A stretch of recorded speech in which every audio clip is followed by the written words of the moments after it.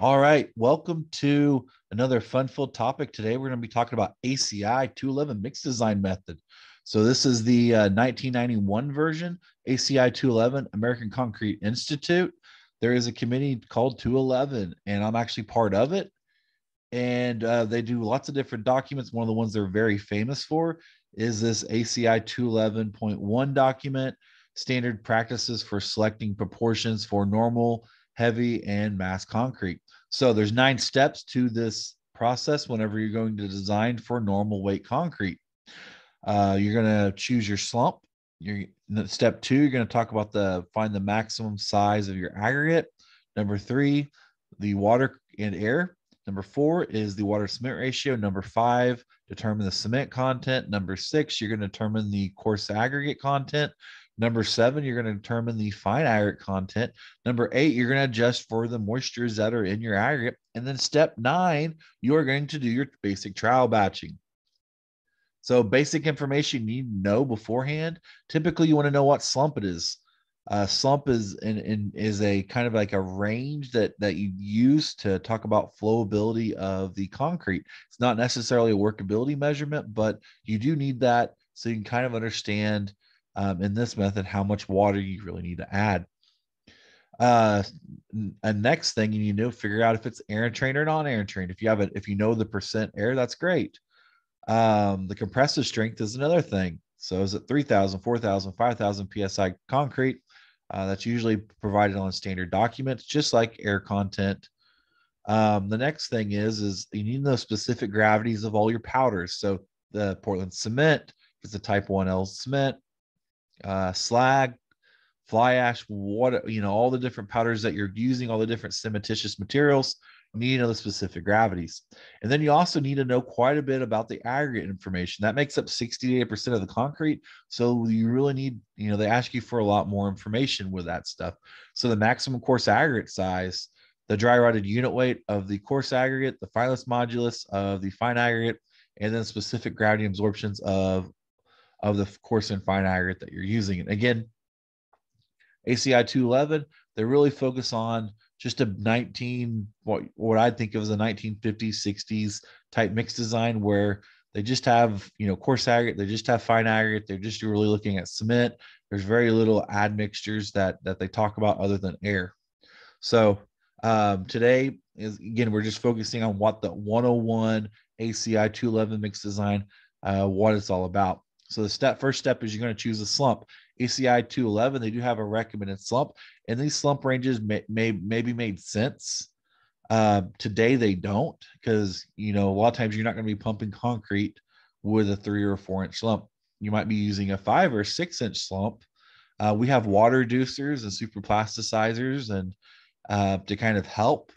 Um, so we're not just you know using water to get that workability. Um, so this table, you know, is a little outdated. So you, you need to know what slump you're going to be, you know, placing at. And so there are lots of different ranges for like say slip form paving. You might be paving somewhere between a zero and a two inch, uh, one inch slump, inch and a quarter. Super common values that work really great for slip form paving. Um, if you're going to use footings, do floor, or, or, or you know even elevated slab stuff like that, a lot of times um, I've seen I've seen it as low as they say for a footing like two inches, three inches, um, and I've seen them all the way up to eight inches. And so again, you know, a lot of times it's the preference of the contractor and, and the equipment they're using that's going to determine a lot of this stuff. Um, pumped concrete, really, you don't want to pump under a four inch slump if you can help it. Um, uh, it, you know, again, it does depend on what you're doing, what your concrete mix looks like, but that's just in general. Uh, you know, four to eight inch slumps pretty common for, for pump concrete.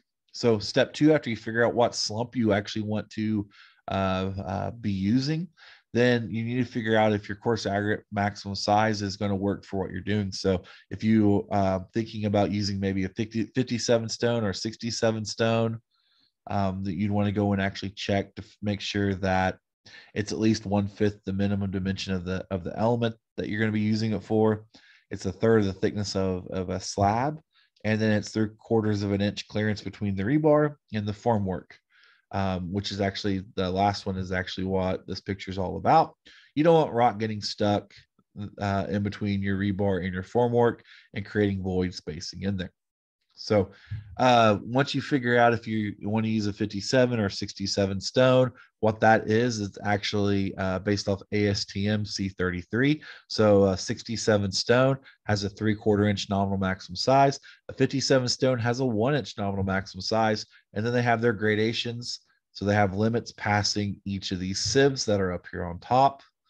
Um, and, and, it goes in descending order because that's what a, a sieve analysis is all about. Step number three is the water and the air content. So this table, if you first look at it, you might be confused because the top part of this table is all non-air entrained.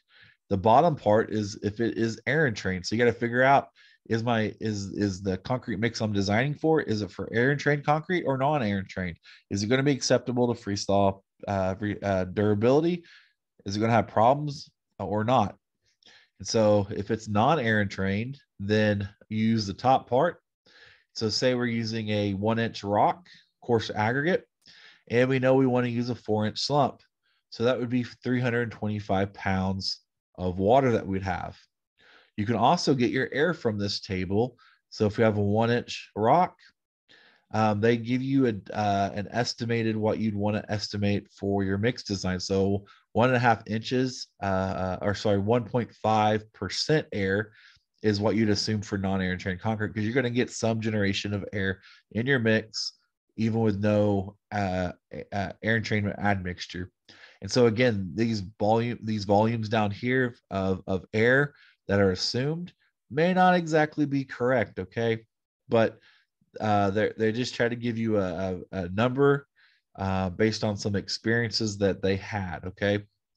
Um, if it's air entrained concrete it'd be the same way uh, you know, if it's a three quarter inch rock and you're you're pumping with a six inch slump, uh, it would be you know a 325 would be uh, what you'd be uh, what they'd recommend using for the water content. And then you need to figure out for your air. Okay, is the air given? Is it six and a half percent air? Or you just need to find the air content? If you need to find it, and you're again you're using maybe a three quarter inch rock, and you know it's a severe tech case, you might be at 6.0% air. So that's how you'd find that if you wanted to, do that. And then step number four, you need to figure out what your water cement ratio is. So uh, this is for non-air entrained and this is for air entrained concrete. So um, is it, you know, your compressive strength? Again, I hopefully you, you, uh, know that you don't just go right off the project specs to say if you know, this sidewalk needs 3000 psi you don't design right at 3000 you actually have a safety factor in there that aci 301 talks about. So um, instead of being at 3000 psi you might be at 3 3800 psi again i just threw a number out there. You need to go and, and check out um, if you don't understand kind of what i'm talking about um, you need to go and check check out and do a little bit more work. So you don't just go straight off of what's on the drawings uh, on the print. So there is a you know f prime cr is what they call it um, the you know the actual critical uh, requirement that you design for. So if you're you know so if you're at 4000 psi is what your compressive design strength needs to be with that safety factor in there for non-air entrained concrete uh, they say that you can go all the way up to a 0.57 water cement ratio. Um, so the next step is is you talk about your cement content. Um, so the weight of the cement is going to equal the weight of the water divided by the weight of cement. So last step we we found that 0.57 is the example problem I gave you, and then the weight of the water. Um, and the example before that, so step three, I think I had like uh, uh, 325 is is the pounds of water I think I had or something like that. Just just threw it threw out some numbers when we how to read the tables. So uh, that's what you do. This is the the bottom is step four. The top, the numerator is step three, and so um, for the for the water weight at least, and so that's how you'd actually calculate to figure that out. So the weight of the water um, divided by the water the water to the cement ratio.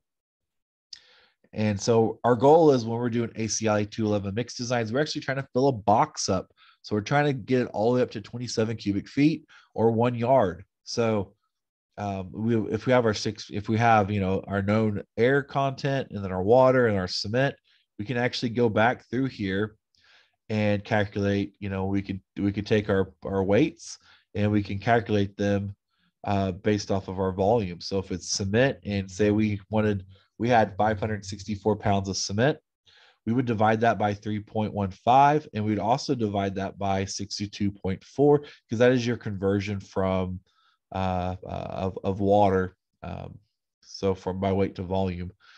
And so when you do that, you would actually get 2.87 in, the, in this example. And so um, you would keep trying to fill your box up. So we so we're going to figure out what our coarse aggregate is next, and then our fine aggregate. Um, and our fine aggregate, in essence, we treat as a filler. So that's where we're going to be heading now. So coarse aggregate step six. Um, these tables, there's one for that's a figure, there's one that's an actual table. They actually do the same thing. Okay. So uh, you maybe see both of them uh, and you're like, what in the world? Yeah, they're the same table. Or they sorry, they they use the same, they have this the purpose is the same. You can either look at the table that provides lots of numbers, or you can go and graph graphically go and trace out to figure out what your bulk volume of your coarse aggregate needs to be for the mix. So again, you could literally take if it's a one inch, if it's a nominal maximum of one inch, so the inches are up on top, and this is your fineness of your sand. Um, you could go through, trace, you know, trace down and figure out, oh, I'm at 2.6 for my fine fineness modulus of my sand, and my uh, my rock is at one inch. And then what you can do is you can trace over and realize that, oh, I'm right there at 0.68. Um, yeah, point, 0.68 for my volume. Or you go over this table and you can do, in essence, the same thing, where if you have a one inch rock and 2.6, you can go and trace it. And I think in the previous uh, example I looked at, I traced it and it was uh, 0.68. They actually got 0.69. So I might just might have accidentally moved a little off uh, whenever I did this. So, but yeah, so I, you know you get the same a- answer in essence. You might be slightly like I did, where my alignment I didn't get a get a straight edge and and do it. Um, so, but you know, in essence, you get pretty much the same numbers. They're just providing the numbers in the table. So sometimes you may prefer just to use a table so you don't mess up like I did uh, on the figure and not draw an exact straight line. So step number six is is is actually taking that that you know in that case that 0.69 number which was you know again found that previous table whatever that is that's the volume of the percent of the coarse aggregate you're going to have for the for the for the concrete and then you're going to multiply that by the dry rodded unit weight of the of the uh, coarse aggregate, and then you're going to have your 27, which is a conversion factor between feet and yards, cubic feet and cubic yards. Uh, so when you do all that, you can actually figure out uh, what your coarse aggregate is.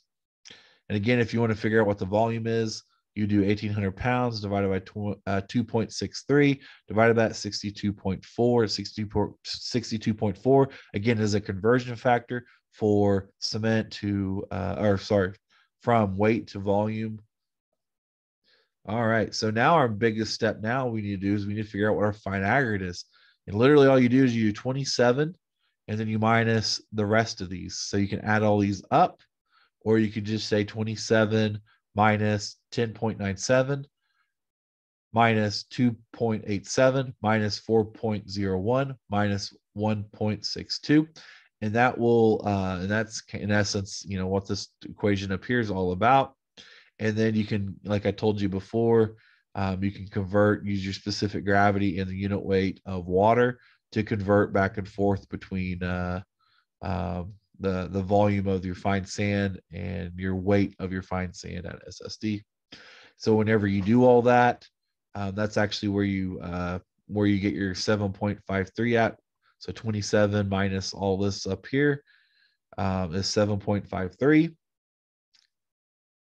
all right. So the next step is you need to adjust for moisture of our aggregate. So uh, we assume for absorption, Again, they assume it's at SSD is the, is actually what the absorption number is all about. So once you figure out what your absorption of, you know, which is kind of a property of that rock, um, the moisture does change. So you can go and you can, you know, if you have moisture probes that are on your stockpile of aggregate, um, that's one way of getting moisture. You can also go and put it in the oven. Um, either either way, you determine your moisture right here, and then the two 2.19 minus the 0.5 that is the amount of free water you have left over. So 1.69. So what am I saying? So if you have uh, uh, eight, 1,800 pounds of rock, so 1830, I should say in this case, um, and you scoop it up and you weigh it, you're actually in your front end loader where you scooped it up at, at 1,800 pounds of stone is technically uh, uh is is 1,800 pounds of stone and 30 pounds of water um, that w- would make up the 1830. So just because you got to realize that whenever you know that more there is moisture in your aggregate, so it's not just pure stone. So there is water in there, and you do have to you do have to remove some of that water from your batch. So after you do your moisture corrections, uh, you need to do a trial batch. It may look great on paper, but you need to test it. You need to go out and look at the at it at a job, see how workable it is, stuff like that.